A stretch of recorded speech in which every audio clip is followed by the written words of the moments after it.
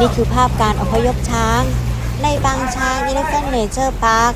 โดยมูลนิธิอนุรักษ์ช้างและสิ่งแวดล้อม ซึ่งมีน้ำป่าไหลหลากเข้าท่วมตั้งแต่วันที่ 3 ตุลาคมจนถึง วันที่ 4 ตุลาคม นางแสงเดือนชัยเลิศ ประธานมูลนิธิอนุรักษ์ช้างและสิ่งแวดล้อม หรือบางช้าง ENP ได้ขอความช่วยเหลือเร่งด่วน เนื่องจากว่ามีการอพยพช้างไปกว่า 100 เชือกแล้ว ตั้งแต่เมื่อวานนี้ยังคงเหลืออีก 10 เชือกที่ยังคงติดน้ำท่วมอยู่ และในวันนี้มวลน้ำที่เข้าท่วมก็เพิ่มสูงขึ้นอย่างรวดเร็ว ยังมีสัตว์ชนิดอื่น ไม่ว่าจะเป็นสุนัขสุกรแมววัวและควายที่ยังติดอยู่พร้อมเจ้าหน้าที่ ซึ่งการช่วยเหลือการเข้าถึงพื้นที่ก็เป็นไปด้วยความยากลำบากเนื่องจากในหมู่บ้านกุดช้าง ที่อำเภอแม่แตงจังหวัดเชียงใหม่ก็มีน้ำท่วมสูงด้วย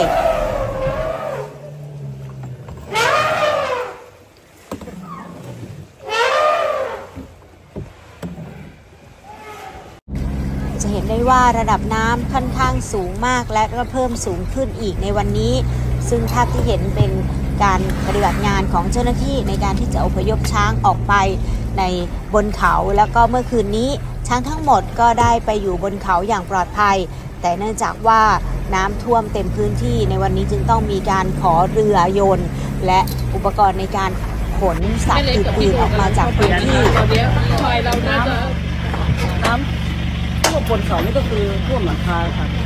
หลังคาก็คือบนเขานี่น่าจะ5เมตรอะค่ะเพราะว่าบนเขานี่สูงที่สุดแล้ว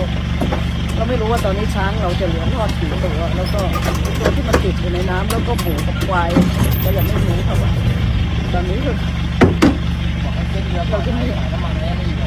โอกาสได้ช่วยเขาไหมตอนนี้กำลังลงไปเพราะว่ามันหนักมากแล้วตอนนี้เราติดต่อข้างล่างไม่ได้เลยค่ะก็เพิ่งมาเดือนะหาเรือหาอะไรกันพวกเรามาหาอุปกรณ์ก็สวิงมาจับ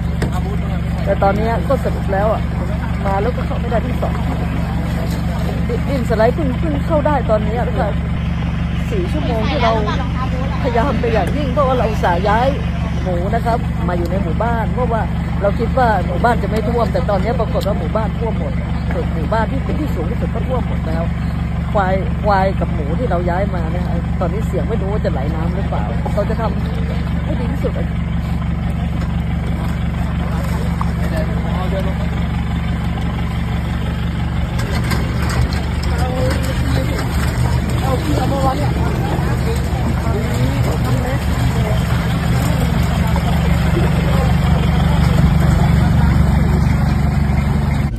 ล่าสุดนางแสงเดือนชัยเลิศได้เข้าไปในพื้นที่เมื่อช่วงบ่ายวันนี้ หลังจากได้เรือยนต์ของกู้ภัยเข้าไป เนื่องจากว่ามวลน้ำท่วมค่อนข้างสูง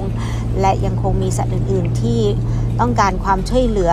ซึ่งมีการระดมกำลังและทางพลเอกนัทพลนาควานิชรัฐมนตรีช่วยว่าการกระทรวงกลาโหม ในฐานะที่ปรึกษาของศูนย์ปฏิบัติการ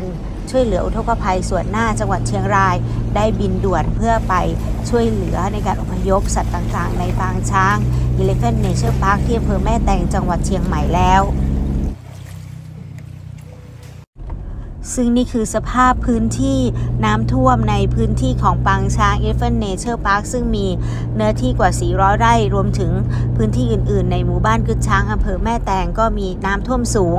โดยน้ำท่วมครั้งนี้ นางแสงเดือนเปิดเผยว่าเป็นน้ำท่วมที่หนักที่สุดตั้งแต่มีการเปิดปางช้างมาสำหรับนางแสงเดือนชัยเลิศ เป็นผู้ที่ได้รับรางวัล Hero of Asia จากนิตยสารไทม์ รวมถึงได้รับเครื่องราชอิสริยาภรณ์จากประเทศฝรั่งเศส ในการชื่นชมการทำงานด้านอัดอนุรักษ์ช้างเมื่อปี